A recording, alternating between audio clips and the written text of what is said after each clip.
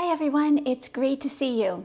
Boy, we have an exciting week of videos coming up because I am ready to take my bag and the pot and the pots to a new level and do the winter conifers in the bag, in the pot, and the pots.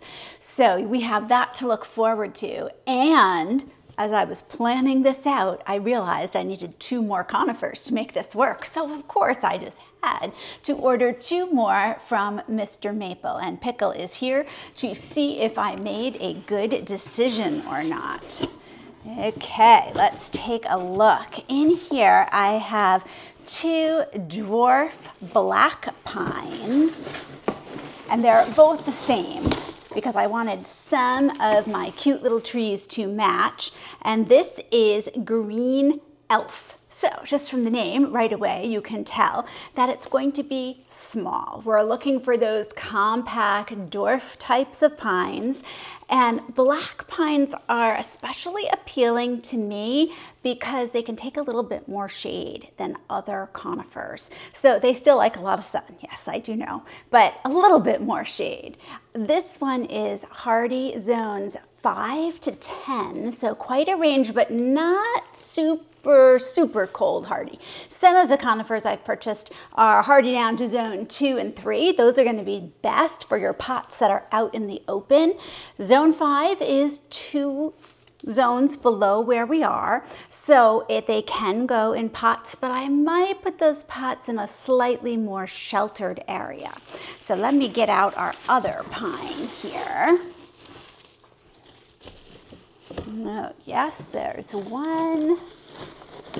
here is the other. Oops, they're stuck.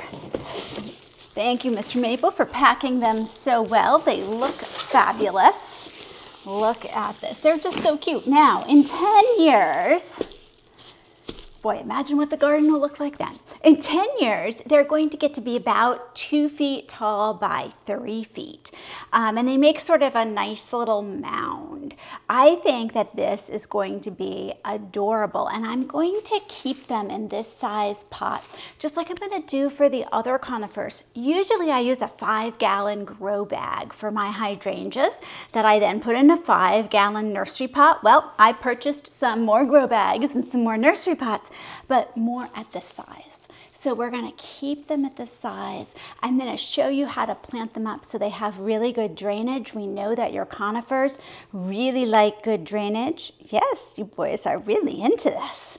And we're going to give them a happy little home where things still look lively in the winter. So tune in later this week for those. We'll get green elves potted up along with some of our other conifers that are just waiting to look adorable for the winter.